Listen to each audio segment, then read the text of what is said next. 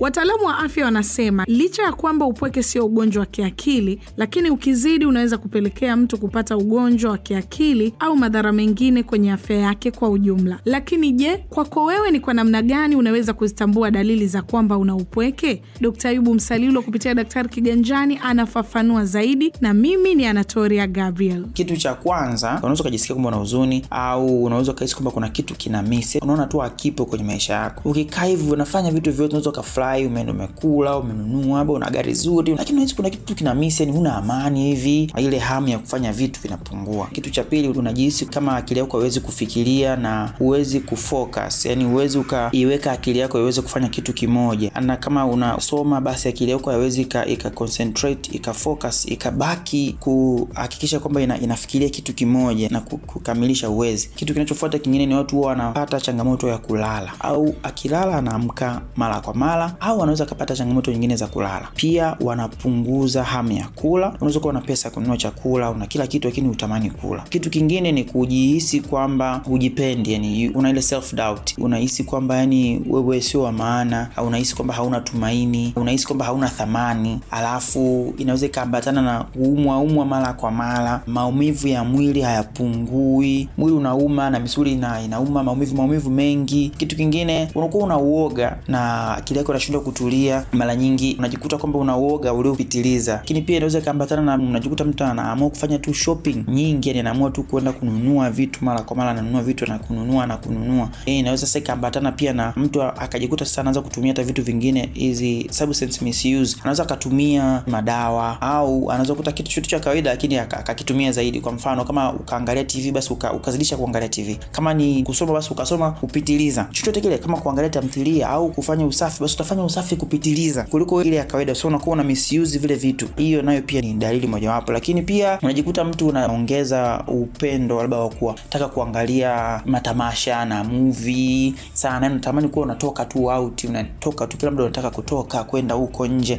ili kusudi tu labda kufanya akili yako ikae vizuri, lakini pia unajikuta mtu unaongeza matamanio ya kukumbatiwa, kuongeza vitu ambavyo vinaweza kufanya mwili wako uweze kupanda joto ile kwa haraka. Kwa mfano, mtu anaweza akatamani kunywa tu vinywaji vya moto, anaweza akatamani kuwa anaoga mara kwa mara, anaweza akatamani kununua labda nguo ambazo zitamuonyesha kwamba yeye ni ana maisha fulani tofauti, au labda nguo zenye joto na zaidi na zaidi. Kwa vitu hivi vinavyokuwa vinatokea, ndio tunasema sasa unaweza ukajitambua ya kwamba wewe una changamoto ya upweke au upweke uliopitiliza. Kwa ujumla, Dkt. Ayubu Msalilwa ametaja dalili tisa ambazo mtu anakuwa nazo pale anapokuwa mpweke. Kwako wewe ni dalili zipi ambazo huzipitia mara kwa mara? Tufahamishe kupitia akaunti zetu mbalimbali kwenye mitandao ya kijamii Instagram, TikTok, Facebook pamoja na Twitter. Tunafahamika kama Daktari underscore Kiganjani, lakini kwa YouTube usiache kusubscribe chaneli yetu ya Daktari Kiganjani.